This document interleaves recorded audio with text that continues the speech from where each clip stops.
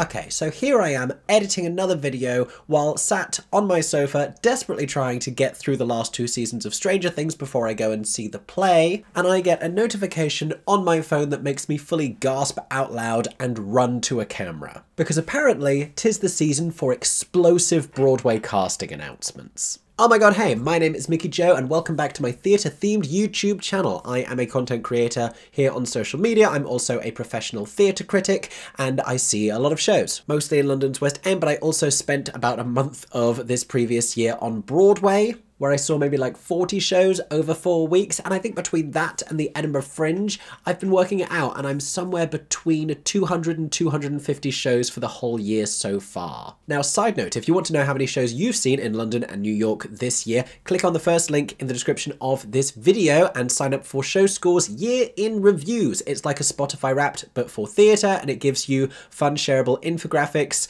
and data and statistics about the shows you've seen this year, what kind of theatre going choices you made. And if you share it to social media, you also have a chance to win a £365 or $365 TodayTix gift voucher, which, as I have pointed out before, will buy you a bunch of tickets to West End shows or one fantastic night on Broadway. You could go and see Merrily We Roll Along and not be able to take another person. But basically, if like me, you've been lucky enough to see a bunch of shows this year, click on that link and find out exactly how many. But that is not the point of today's video, because what I am talking about today is the insane Broadway casting announcements that have come literally in the last 48 hours. So first of all, let's go back to yesterday. I made a brief TikTok about this, trying to convey how excited I was, but I want to talk about it more because I am still not over it, and no one in my immediate sphere here understands how exciting this is. So I actually got sent through the press release for this, which does not always happen but some Broadway PR agencies do like to talk to me. Here it is. The name on everybody's lips is gonna be Ariana. I am talking about Ariana Madix, star of Bravo TV's Vanderpump Rules and one of the key players in last year's Scandoval drama. She is going to be starring as Roxie Hart in Broadway's Chicago at the Ambassador Theatre for eight weeks, a limited eight week run from Monday, January 29th.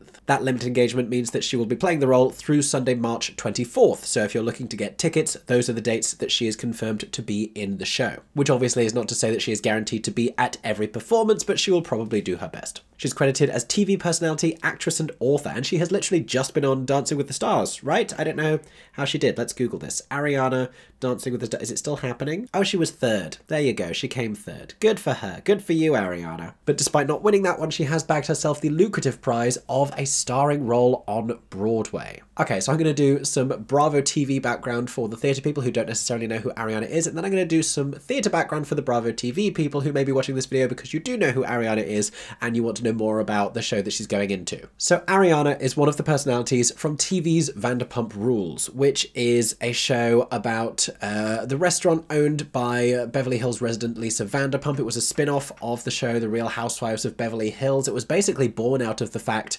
that one of the, uh, the personalities on that show, Brandi Glanville, had a run in with a waitress at one of Lisa's restaurants, a waitress who had had an affair with her husband, the actor Eddie Cibrian, who famously is now with LeAnn Rimes. It's a whole thing. Like, honestly, I could keep going back and back and back and chart the beginnings of all of this with many other TV shows. But Vanderpump Rules. It's all about uh, the servers at this restaurant who are all trying to be actors and models and singers, because we're in Beverly Hills and that's the name of the game, basically.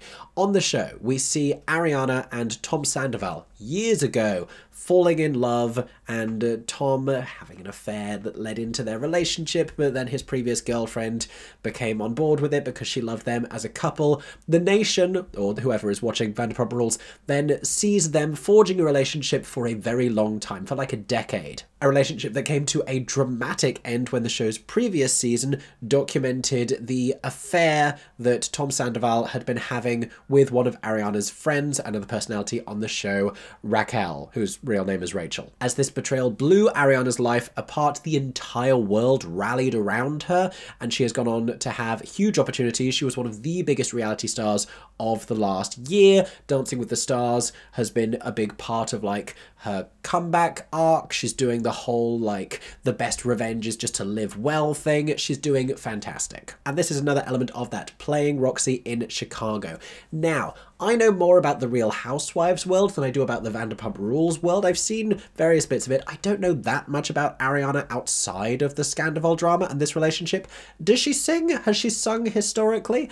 Doesn't matter if she doesn't, because people have gone into Chicago before with very little skill set, with really more of a personality, which seems like a good enough segue to talk about that show. So, this is a revival production of Chicago, uh, the musical with a score by John Kander and Fred Ebb, uh, which incorporates iconic Bob Fosse choreography. This production began its life as a New York City Center Encores concert and was then smartly recognized by producers as being viable for an ongoing Broadway production. It subsequently transferred to Broadway, where it has continued to run successfully. It benefits from being popular and recognizable to tourists, but they also implement a very smart marketing and casting strategy. Not only do they really understand the aesthetics that work for them in terms of their marketing, they are selling sexy and sleek and Fosse and dance and uh, something that tourists really understand. They know what it is before they've even bought tickets. They know they're going to have a nice time. But if that isn't enough, these producers understand the benefit of a star name and not necessarily a star name that's already connected to the theatre world because Chicago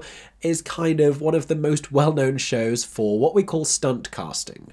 This is casting where we are putting someone into the show who is going to sell tickets, who is a draw. People are going to go to see that person in the show, but it's not necessarily because of the talent that they will bring to it. There is no exact definition for stunt casting, but my interpretation of it is usually the instances where someone uh, doesn't really have the theatrical background and they may prove to be very impressive. They may have hidden talents that weren't known about before, but like reality TV stars and sports sports people have gone into these roles in Chicago before. Jerry Springer has gone into Chicago before. Like, we could be here for a very long time talking about the various clowns over the years that they have put into this show. In fact, Ariana will not be the first Bravo TV celebrity to go into this show. Right before COVID, Erika Jayne from The Real Housewives of Beverly Hills, who had already established herself as a performer and as a dancer and as a singer, she was playing the role of Roxie, of this character who is in jail right before she was implicated in a massive lawsuit about defrauding the families of plane crash victims. Her Beverly Hills co star Lisa Rinna had also previously played Roxie in the show. And Roxie is not the only role that they stunt cast. We have had many a stunt cast Mama Morton in the show before, a Billy Flynn, like wherever they see the opportunity. Jinkx Monsoon went into this show earlier this year. I actually saw her on Broadway. It was actually the first Broadway show I ever saw. We landed, we went to see Chicago. If you've watched my vlogs, you know this already. And Jinkx is not really stunt casting with a capital S because she has always had the theatrical chops to back it up, which makes the casting of someone like her who also has a draw to a lot of fans. Fantastic casting. Ariana I would call a stunt. I would I would characterize this as a stunt but a stunt that I am excited about. And we've seen other performers go into the role of Roxie Hart and surprise us. I'm ready to be surprised by Ariana's performance here. She's shown that she can dance it on Dancing with the Stars. She's done a great job over there. So then the only real question mark, I guess, is about the acting, which it's, it's Chicago, it's kind of paper thin, and uh, the vocal, which does not have to be a huge belty vocal of a thing. That's certainly not what I saw when I last saw the show. So I don't feel like it's the biggest mountain for her her to climb. I will say, there is a moment in the show within the first 10 minutes while another character, Velma Kelly, is singing a song called All That Jazz, when Ariana as Roxie will have a line something to the effect of "Oh Fred, nobody walks out on me," and then she will shoot uh, this guy who was her lover, and I just feel like that has the capabilities to get a standing ovation. On the back of everything she's been through very publicly in the last year and how huge this was, if you're not a reality TV person, I need to convey to you, this was massive. Like, I didn't really watch the series, this was everywhere, and I became obsessed with it. Like, this was a very big deal. Like, Ariana got invited to the White House Correspondents' Dinner where they made a joke about Scandoval. That's how big this was. But she is not the only new star arriving on Broadway in January because like minutes ago, I got the most insane notification on my phone and I'm going to share it with you now. Here it is, the Sweeney Todd Broadway Twitter account, which just earlier this week had shared new artwork of Aaron Tveit and Sutton Foster, who will be taking over as Sweeney Todd and Mrs. Lovett respectively um, on February 9th. A few weeks after current stars Josh Groban and Annaleigh Ashford are set to leave the roles, they today just dropped this little thing. He'll send the demons howling, dearie. The delectable Joe Locke will be playing Tobias Tobias Ragg beginning January 31st. And in their excitement, they actually misspelled Tobias and they wrote Tobias, but now 23.8 thousand people have seen it, and so it's too late. I've run Twitter accounts for big companies before, I get it. No shade to you, Sweeney Todd. However, Oh my god. So Joe Locke is joining the show January 31st, a little bit before Aaron and Sutton are going to arrive, but I was not expecting this news. Let's talk about it. So Joe Locke is one of the breakout stars of Heartstopper. He, along with Kit Connor and the supporting cast around them, have become huge on the back of this now beloved queer coming-of-age TV show which Aaron and I recently watched together and became obsessed with. In fact, Aaron ordered all of the volumes of the books after we'd seen the first episode, and the most recent one just arrived today. Now, Joe has done theatre. He was in a show at the Donmar. He won a What's on Stage award last year, and I recently saw him at a press night back in the summer. But I for sure thought Kit Connor was going to be the first of the two of them to then do a really big theatre role. I say this because it feels like Kit Connor has been getting a lot of press and media attention, and because I'm hearing rumours uh, that he may be attached to different projects in development. But for now, it is going to be Joe Locke in a musical of all things on Broadway of all places, who is going to be taking to the stage. Now, in terms of what I think about this casting, I think this is terrific. When this revival opened, it was Gaten Matarazzo. I thought he was great. I thought he was robbed of a Tony Award nomination, actually. And by that point, I hadn't seen Stranger Things. I didn't know of Gaten from anywhere. I thought he was excellent in it. In fact, one of my highlights of the production. Now, I do not know if Joe Locke can sing. Do we know that Joe Locke can sing? I know Kit Connor can. He was young Elton John in the Rocketman movie. I don't know if Joe Locke sings. And that does matter to me for this character because it's Sondheim. It is hard to navigate vocally, and you have the beautiful song. One of my favourite Sondheim songs, Not While I'm Around. I need for that to sound fantastic. You also have to command a certain amount of vocal confidence to perform Ladies and Gentlemen, May I Have Your Attention Please? and do Pirelli's Miracle Elixir.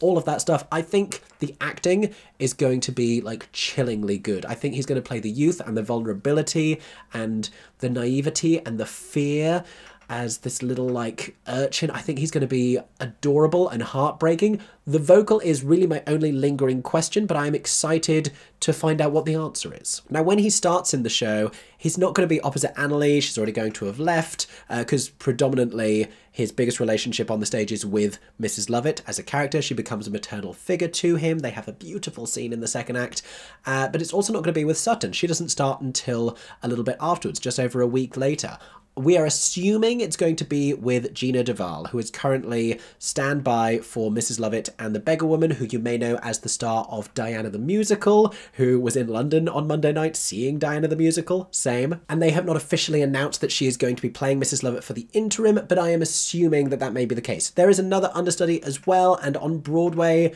they do this a little bit differently, where they do tend to share the role more evenly between the two understudies, whereas there is more of a hierarchical system in the UK where the first cover will go on, and only in the availability of the first cover will the second cover go on. So we can assume that when Joe Locke makes his debut on January 31st, it will be with Jeanna de Waal. And honestly, my brain is too busy exploding from all of this news to really process it, but I can get behind both of these casting decisions. I'm excited. I am sure you are all excited, and I want to hear all of your thoughts. Comment down below what do we think about Ariana going into Chicago. Let's not be completely precious about it because, like, it's Chicago. She's not playing Jenna in Wait waitress.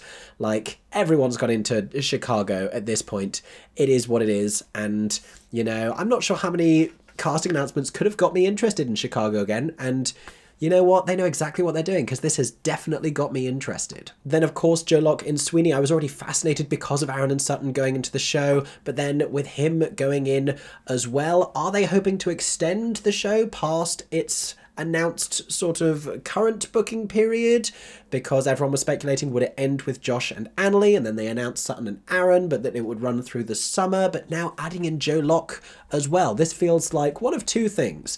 Either they just still want to keep tickets at the price they were at with Josh and Annaleigh and they know they need a certain amount of star power, or they are putting him in to see if the show might have future life beyond the initial two stars. Or secret option number three is the show coming to London and they're giving him the opportunity to go and do it over on Broadway so that he can then prepare to open the show as Tobias over here. That's a complete left field assumption, but stranger things have happened. And speaking of Stranger Things, I literally need to go and continue watching Stranger Things because I have not enough time before I go and see this play and I have so many episodes left to watch. So I'm going to leave you there. Comment your thoughts down below. I hope you've enjoyed this video and my slightly manic energy today as I attempt to do a million things. Make sure you're subscribed to my theatre themed YouTube channel so you see all of the videos uh, coming very soon, including my Stranger Things review, including more theatre news happening worldwide. And I hope that everyone is staying safe and that you have a stagey day.